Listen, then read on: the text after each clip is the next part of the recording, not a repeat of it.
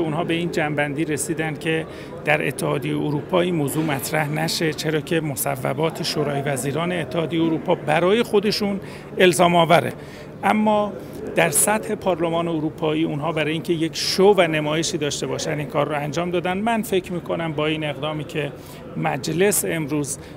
انجام داد و طرحی که دولت رو ملزم می‌کنه و در عین حال نیروهای نظامی اروپا رو به عنوان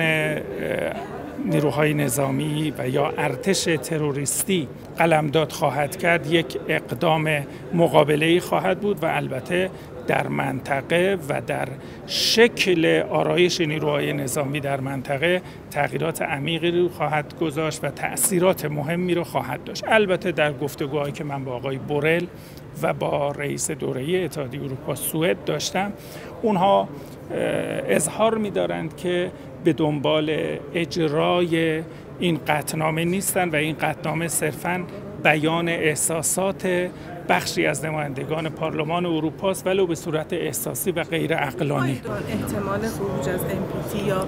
بحث اخراج بازرسان به عنوان یک رفتار اگر اروپا تعداد اندکی از رهبران سیاسی اروپا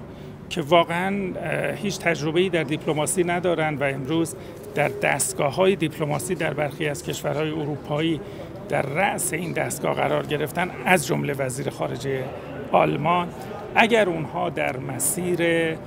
اقلانیت حرکت نکنن و مواضع خودشون رو اصلاح نکنن هر احتمالی متصوره